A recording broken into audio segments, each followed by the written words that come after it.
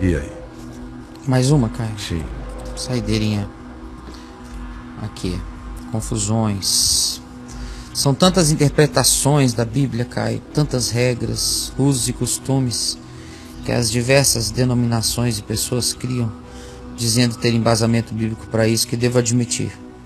Estou confuso em relação à vontade de Deus. Hum.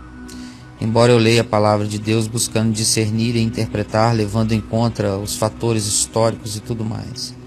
Mesmo adianta, assim, internamente, me sinto culpado. Vai continuar sem entender nada. É, né?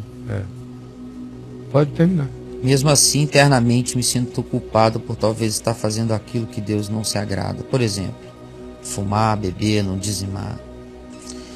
Eu não consigo achar na Bíblia nada que condene tais práticas, mas como, durante os três anos que tenho vivido sob a vontade de Deus, Sobre a igreja.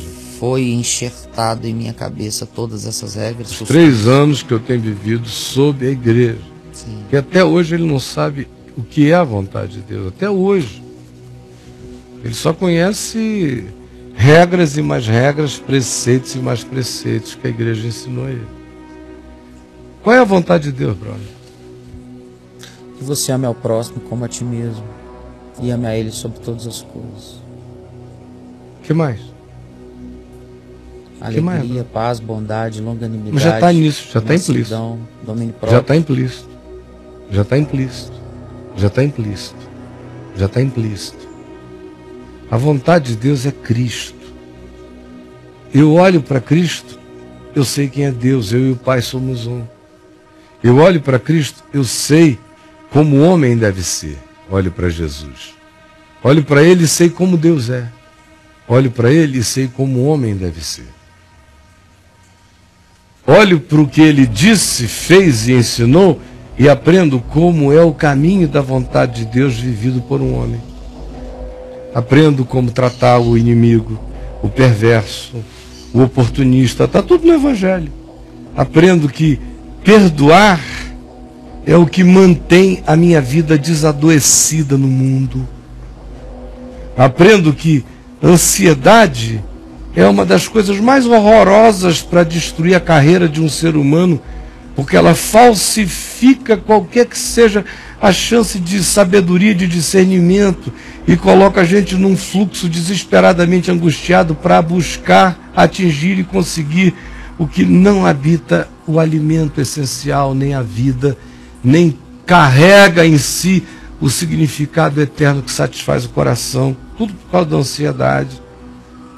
Ele me ensina a não andar impressionado, a não viver para os outros, na aparência, nas expressões. Me ensina a não ficar tentando atender às demandas de convenções enlouquecidas, mas a seguir minha consciência.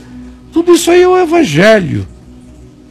Me ensina a gratidão, me ensina a misericórdia, me ensina o amor pela justiça e pela verdade.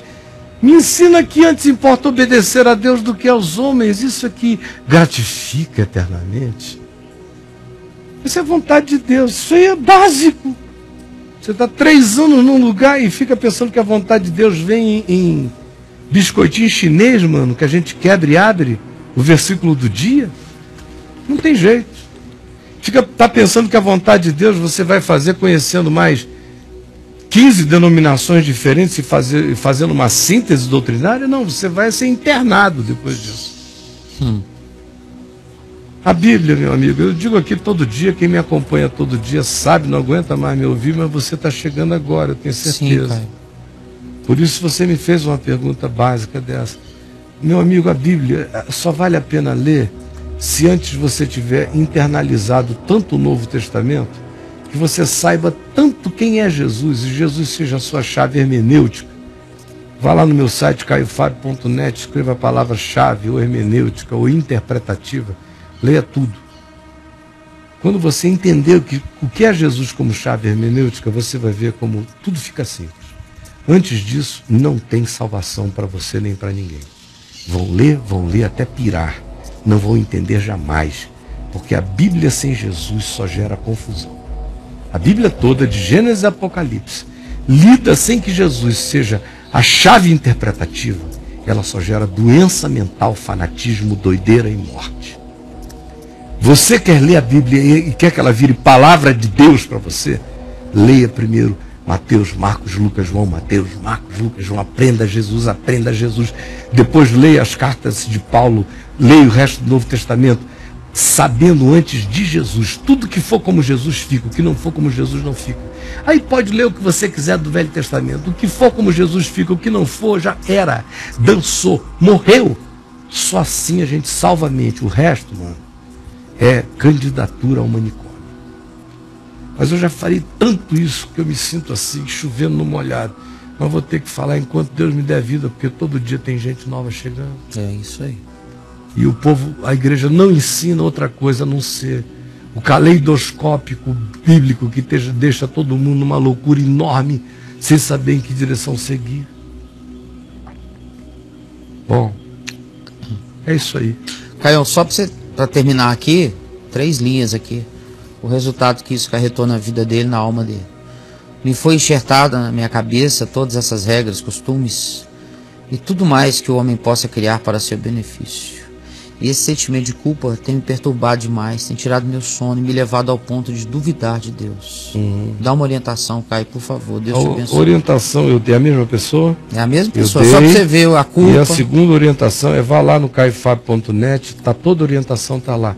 Senão, mano, eu vou ter que fazer um site novo para você e vou ter que zerar quatro anos de papo de graça para você aqui agora e não é Sim. é possível. Tá tudo feito, tudo explicado. Eu só peço agora que você, com um coração bondoso e humilde, faça esse deverzinho de casa. Tá bom, meu mano? Por favor.